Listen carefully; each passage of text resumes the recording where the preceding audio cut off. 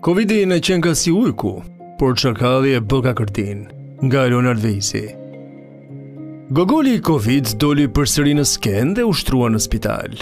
Njerëzit e thjeshtë kur u informuan se tek infektivi ishin shtruar 15 apo 20 raste me një nga nënfishat e Covidit, gati u futën në panik sepse menduan më së shumti efektin pandemi dhe vetizolimin. Kampi tjetër që nuk i trembet virusit, madje e cilëson atë si qesharak, Nisi të vërtiste sërish idenë se Covid-i ende nuk ka mbaruar punë nga planet e bëra këtu e 5 vite më parë. Ndaj ai do të na rrijë për një kohë të gjatë mbi kokë, fiks si shpata e Damokleut. Me sa duket në këtë botë nuk paska rehat vërtet. Jemi në ditët e pushimeve masive të verës, por gjumë dreke nuk mund të bësh.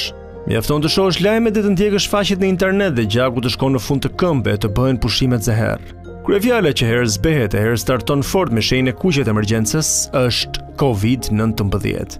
Ç'na u bë bela. Si nuk u zhduk xhanëm, se janë 5 vjet në mes, luftë e shamata për ditë me të.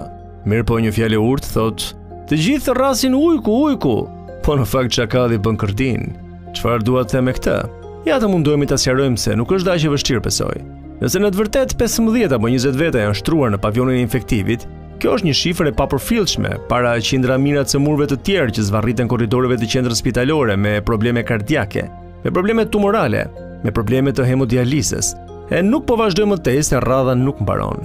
Mirëpo për çështjet kanceroze nuk është bërë ndonjëherë ndonjë mbyllje edhe pse shifrat janë alarmante, aq sa të bëjnë pesimist, e të duket sikur gjatë gjithë kohës ecën mbi një fushë të minuar ku nga çasti në çast mund të të ndodhë gjëma.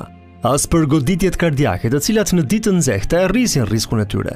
Nuk u vihet alarmi i kuq, aq sa të na detyrojnë të qëndrojnë brenda, me ajër të kondicionuar e gradacion të ulët, ku të na jepet përshtypja se ka filluar bora e duhet me u mbulu me batanije. Në qendër të alarmit mbetet dhe mbetet vetëm Covid-i. Ndaj kjo na jep të drejtën të kthehemi pas. Atëherë kur nisi kjo çështje e pambaruar, e t'u hedhim një sy teorive konspirative që si rrallëherë morën përparësi të pazakontë. Virus origjinal apo i modifikuar? Meqë përmendëm COVID-19 dhe modifikimin gjenetik në të njëjtën fjali, të gjithë entuziastët e teorive të konspiracionit ndjehen si fëmijë në një dyqan karamelesh. Dikush mund të pyesë, A është ky virus një Frankenstein laboratorik apo thjesht një blockbuster tjetër që Netflix harroi të na paralajmëronte? Në një analizë të hollësishme dhe të paanshme të kësaj teme të ndjeshme, është e rëndësishme të shqyrtohen të gjitha perspektivat dhe teoritë e ndryshme. Megjithëse nuk ka prova të forta që COVID-19 është prodhuar qëllimisht ose përdorur si armë biologjike, disa teori konspirative ende qarkullojnë në media dhe rrjetet sociale. Është e rëndësishme të vlerësohet me kujdes evidenca e disponueshme nga burimet e besueshme shkencore dhe mjekësore. E, e, po ku pyet njerëzia për burime të besueshme? Sepse i pëlqen më shumë të besojë të pabesueshmen. Por, A ka filluar ky virus nga një shërbim super sekret qeveritar që deshi të hakmerret me gjithë njerëzimin? Apo ndoshta u krijua nga një grup shkencëtarësh të çmendur që deshën të shohin se çfarë ndodh kur luan me ADN-në e një lakuriqi nate? Nuk mund të harrojmë as teoritë që fajsojnë 5G-në, sepse pse jo? Sinjalet e telefonit celular janë të fuqishme mjaftueshëm për të transformuar një virus minor në një pandemi globale. Analogjia i takon dhe rastit të më shumë se 100 viteve më parë, kur shpërtheu virusi H1N1, i ashtuquajturi gripi spanjoll. Asokohe sapo u vunë në përdorim masivisht valët elektromagnetike, apo valët e radios me frekuencë 30 Hz deri në 300 GHz. Ndaj konspiracionistët e kohës ia vunë fajin këtij zhvillimi teknologjik që shkaktoi viktima të panumërta. Sepse sipas tyre, trupi i njeriut ishte i pastërvitur të përballonte një sasi të tillë goditjesh elektromagnetike. Megjithatë, shumica prej nesh do të pyesin veten nëse këto teori janë më shumë një përpjekje për të shpjeguar të pashpjegueshmen me anë të një tregimi të frikshëm sesa një përpjekje serioze për të gjetur të vërtetën. Me të vërtetë, ndonjëherë teoritë e konspiracionit, duken si ato episodet misterioze të The X-Files, që nuk kanë fund dhe të bëjnë të shohësh çdo gjë me një sy dyshues. Dyshime shkencëtarësh dhe imagjinatë publiku. Nga njëra anë kemi shkencëtarët me laboratorët e tyre sterilë dhe pyetjet e kujdesshme, të cilët analizojnë të dhëna dhe na thonë se COVID-19 është me shumë gjasa një virus natyror. Por nga ana tjetër kemi internetin ku çdo përdorues i thjeshtë mendon se ka zbuluar të vërtetën e fshehur pas një kliku. Ato që ne i cilësojmë si studime serioze, madje të besueshme, në fakt tregojnë se COVID-19 është një virus i ri që ka origjinën në natyrë dhe është përhapur tek njerëzit.